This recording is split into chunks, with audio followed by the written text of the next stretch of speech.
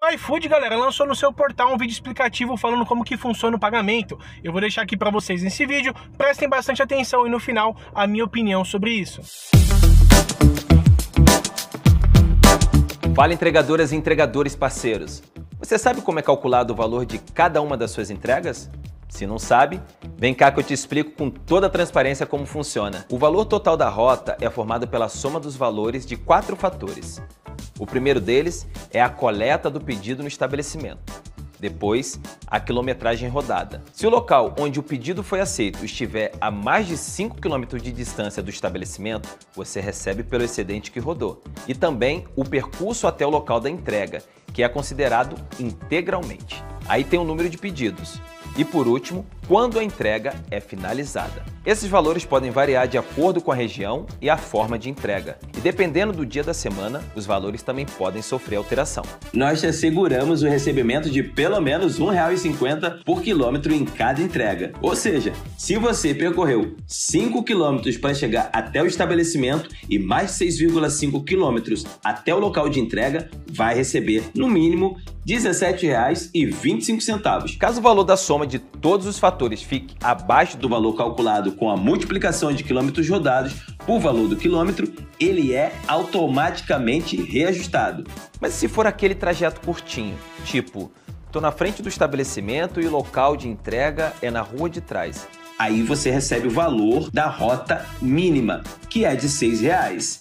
Nenhuma entrega fica abaixo desse valor independentemente das somas dos fatores ou de quantos quilômetros você percorreu. Essa é uma garantia nossa para que você nunca receba um valor menor que esse pela sua entrega. Ah, e não esquece que o cliente pode te enviar uma gorjeta pelo app e todas elas são repassadas integralmente para você. Ficou mais claro, né? Caso ainda tenha ficado com alguma dúvida, aqui no portal do entregador tem outros conteúdos sobre transparência. E se liga aí nos próximos vídeos para saber mais sobre outros assuntos. Como vocês viram aí, galera, o iFood ele diz que ele paga a distância do entregador até o estabelecimento e do estabelecimento até o cliente, ou seja, dessa maneira ele tem pagado aí a taxa de deslocamento.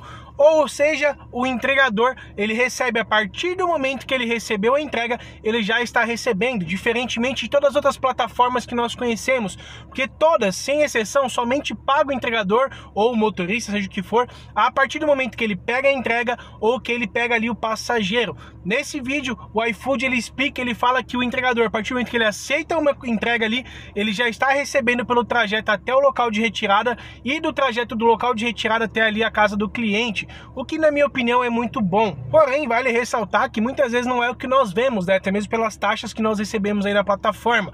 Mas vale lembrar que o iFood reajustou e a partir do dia 2 de abril, que já é essa semana, vão começar a valer esses valores que passaram no vídeo aí, de R$ 1,50 por quilômetro rodado e tarifa mínima de R$ reais. Ou seja, como eu falei no outro vídeo aqui, para você rodar até 4 quilômetros, você vai ganhar R$ reais.